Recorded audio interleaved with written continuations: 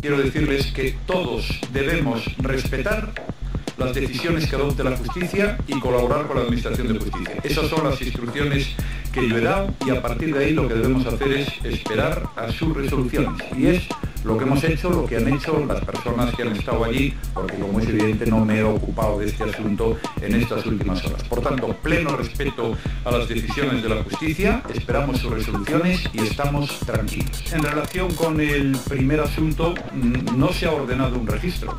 Eh, lo que se ha pedido es colaboración y se le ha dado. Y desde luego mis instituciones siempre serán colaboración con la Administración de Justicia pero yo quiero hablar de corrupción, ah, pues señor porque usted cuando envió ese SMS a Bárcenas tuvo que dimitir.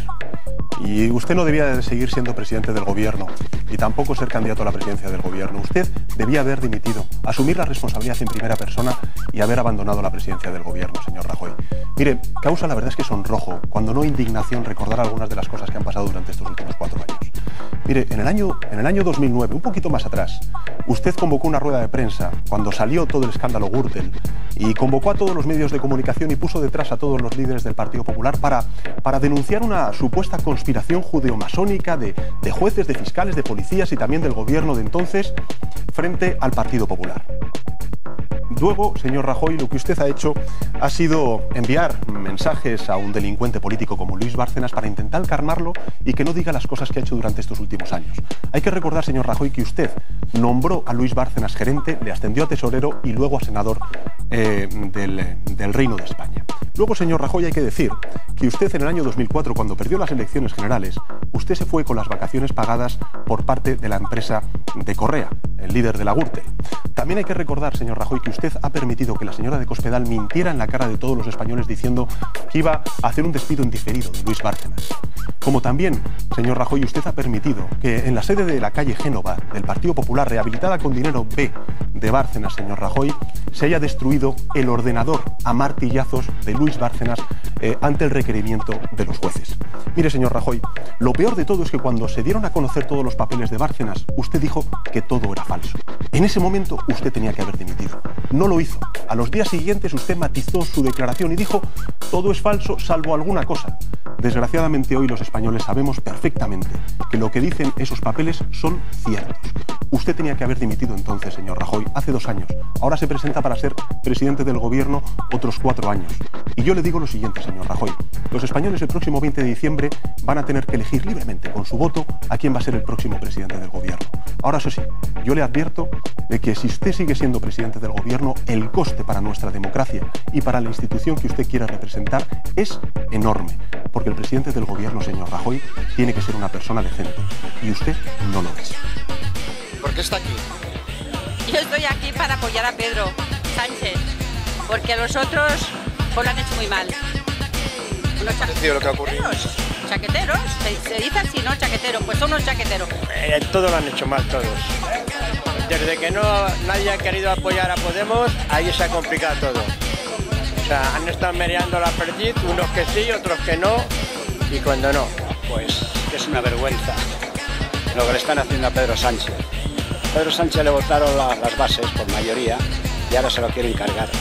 Ayer, hoy, escuché a Felipe González y se me estremeció el alma. Vi que es un aprovechado de la situación y que no ha sido nada claro ni para este partido ni para la sociedad. Y luego los varones y las baronesas que están por ahí se están dando un garbeito por las televisiones de derechas, poniendo a su, compañero a París, no me extraña. Ellos mismos son los que han perjudicado al PSOE. Ellos mismos han sido. ¿Sabe qué le digo? Dígame. Que muchos de los dirigentes de, épocas pasadas no tienen ninguna vergüenza. Están abusando de las puertas giratorias.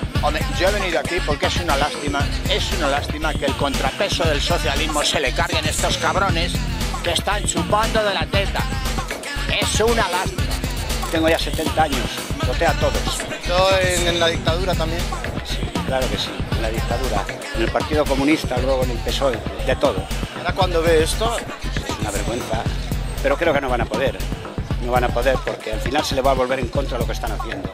Este país, con todas las viejas glorias estas que vienen aquí a marear la perdiz, este país y sobre todo el PSOE lo, lo quieren aniquilar.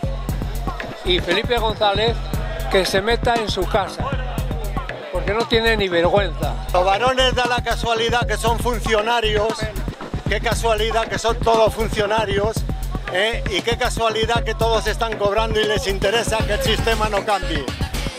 Y les interesa que el sistema no cambie. Yo como votante, como muchos votantes de mi edad, no quieren que el Partido Socialista apoye al Partido Popular, porque entonces el Partido Socialista se abre en canal totalmente. Que voten los militantes, claro, y que siga Pedro Sánchez.